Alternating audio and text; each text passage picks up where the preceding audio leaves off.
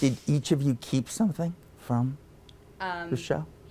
I actually, I actually have a big yellow post-it on my desk from Bill's office, but it weighs 600 pounds, and so the producer's really pleased that I said I would have it because it means they don't have to.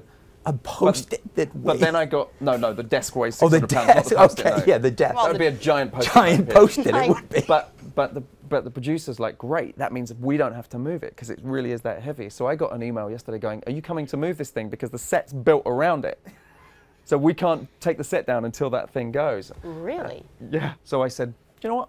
I, I might let that one go too. And now they've got to work it out themselves. You kept nothing? Oh, um, It's got I- me. She kept you. got Maybe me. that's enough. I uh, I got this cute English dude. Yeah, you got and- him. Yeah, and I, I got to take him home. That was that was fun.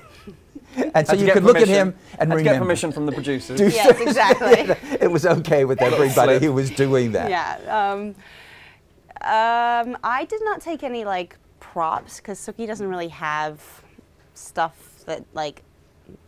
I don't Tell know, me like, you, you took a little Merlotte's short apron because I like them. They're saucy. I was getting there. I took all- all my costumes. All of I mean, pretty much, yes.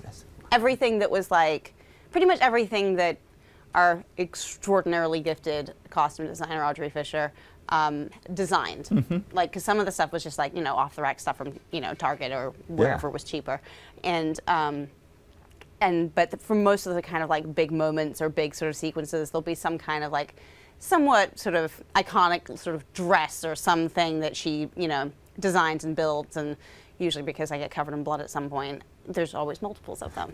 there is so, so that she so has one the, goes I to the keep a little of archives the at, blood. that, uh, at Warner Brothers, and I got to keep um, the doubles of a lot of the sort of major moment dresses, which to me is big because I'm you know a girl and I like clothes.